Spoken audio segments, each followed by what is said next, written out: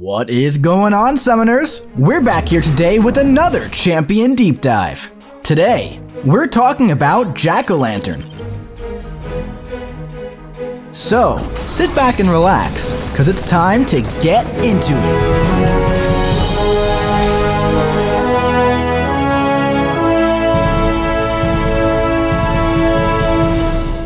Jack-O-Lantern enters the contest with Master Assassin training, granting him immunity to reverse controls and incinerate effects.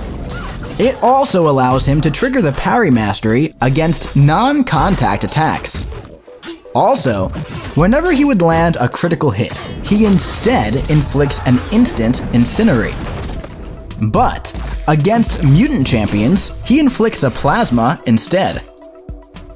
All of Jack-O-Lantern's personal damaging effects scale with his critical damage rating, and for every 3 damaging effects he inflicts on the opponent, or passive damaging effects he's inflicted with, he gains an inflamed passive for 25 seconds. These grant increased critical damage rating, ability accuracy, and energy resistance. These are paused during special attacks and for 5 seconds when intercepting the opponent.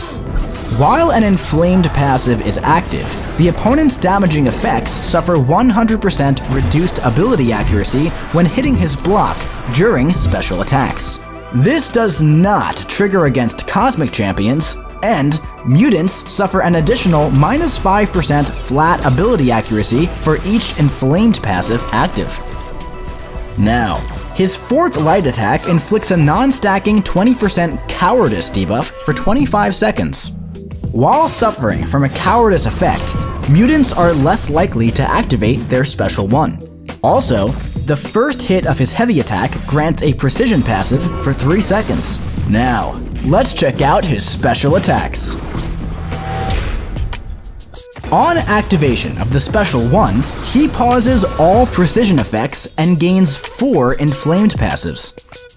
With the special 2, the final two hits inflict 2 incinerate and poison debuffs, lasting for 3 seconds each. This becomes a plasma against mutant champions.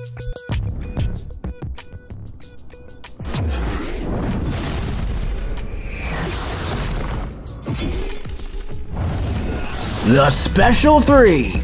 At the end of this attack, he gains a non-stacking precision passive for 15 seconds. He also gains 12 inflamed passives. Now, let's check out his signature ability.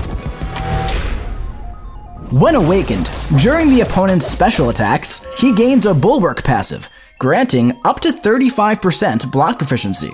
Additionally, while suffering from any energy damaging passives, he passively regenerates up to 3% of his base health per half second. Now, let's take him out for a spin in the champion rotation.